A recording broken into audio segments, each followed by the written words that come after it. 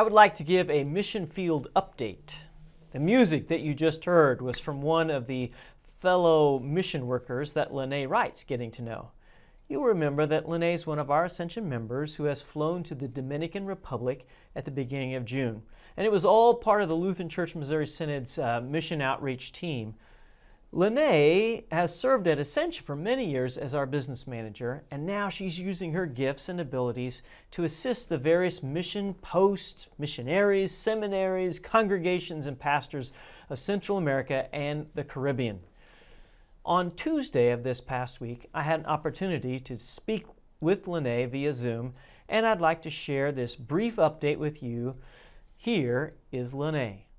So, for my ministry here, it has been really encouraging to meet brothers and sisters in the faith, the, ministry, the missionaries that are here, as well as the seminarians who are training, very similar to our own seminary in St. Louis, and to be able to meet them because they do represent different Latin America uh, countries.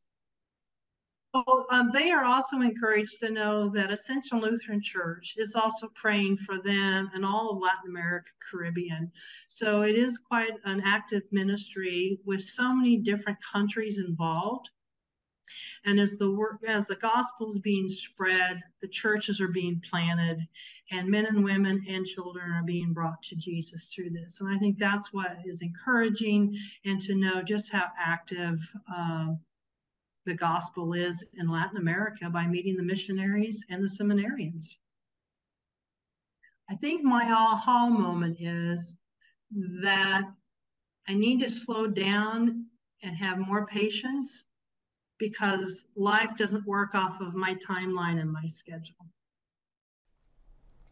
Please keep Lene and her husband Doug and family in your prayers as she continues throughout this summer we will be posting additional updates in our Thursday emails and our worship folders.